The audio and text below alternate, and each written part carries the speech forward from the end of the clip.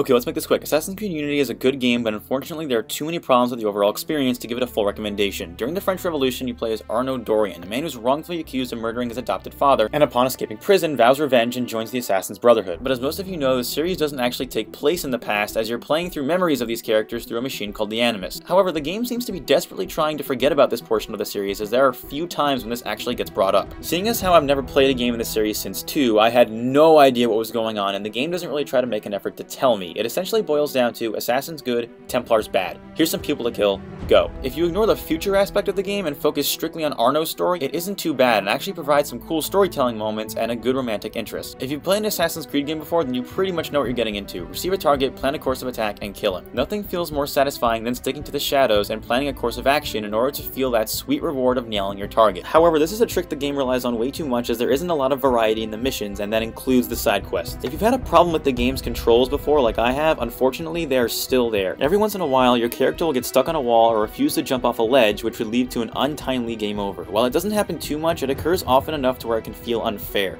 This is not a just world.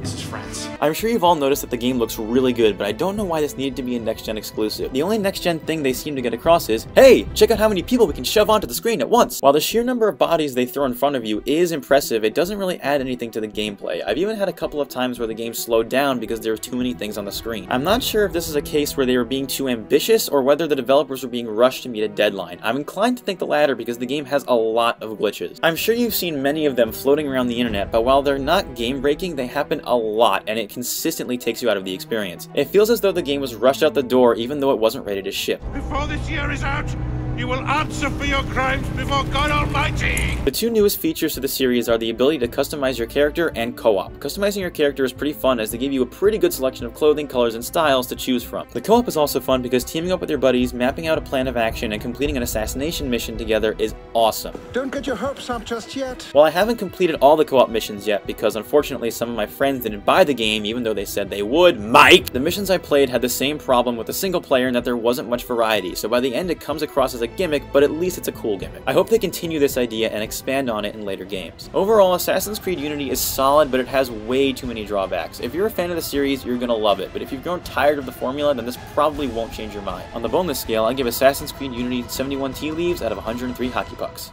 Bully for you. Hey guys, thanks for watching our video. Make sure to subscribe if you want to see more reviews like this in the future. Later.